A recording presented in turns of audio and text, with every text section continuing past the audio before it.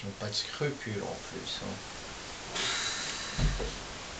Quand même louer à ce prix-là quand même, putain. Le mec qui a loué ça, putain, ça doit être, ça doit être un enculé. Genre pareil, euh, moi j'ai vu, bah, c'est les étudiantes palestiniennes qui m'avaient dit ça. Il y en a, en avait une, elle, elle payait pas bien sûr. Mais elle, elle- elle allait coucher dans un. dans une espèce de penderie comme ça. C'était aménagé, euh, il y avait un rideau. euh, Elle avait juste de quoi s'allonger, quoi, juste de quoi dormir. Oh ouais, c'est ça. Putain. Alors c'était gratuit. Enfin, Ah, c'était gratuit. gratuit non, fallait qu'elle donne un coup de main dans la maison, je crois, je sais pas, s'occuper du gosse, enfin bref. Ok, Voilà, oui. avec une petite occupation quand Un même. interchange. Oui, mais bon, quand même. Devenir une penderie, c'est oh, putain. Mais c'est surtout, moi, ce qui m'énerve, c'est les gens qui font Ah mais là, ça. là, c'est- suis encore effaré de voir un truc pareil. hein. Putain. Est-ce qu'il y a des gens vraiment qui n'ont pas de scrupules Ah oui, non, mais c'est vrai que euh, l'association des abbés Pierre, ils s'en se- s'en occupe beaucoup. hein.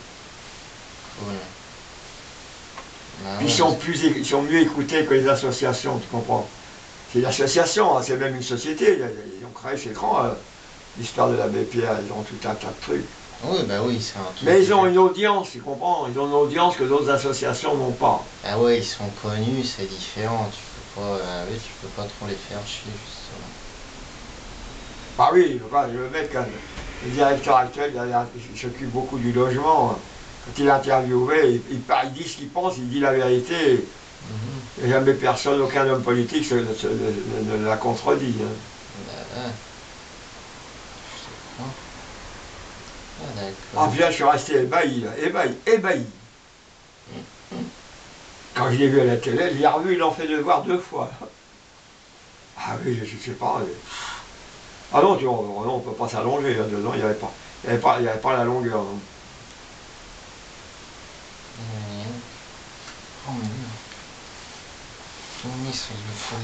Vous n'avez pas le choix, il dit. Euh, il a passé des questions, ah, moi, j'avais pas le choix.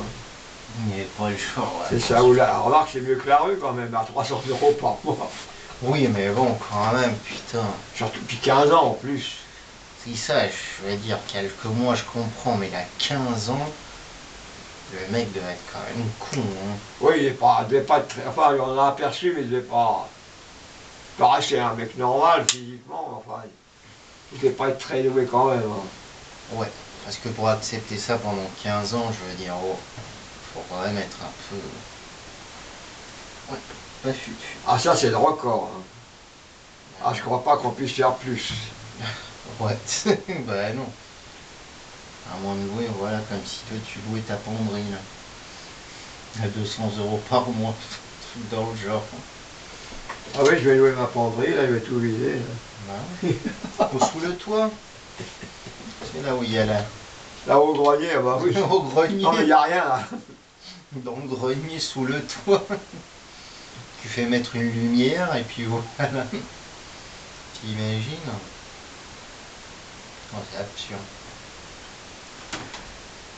Et, et une propriétaire qui avait le culot de lui demander de la rallonge parce qu'il était chauffé.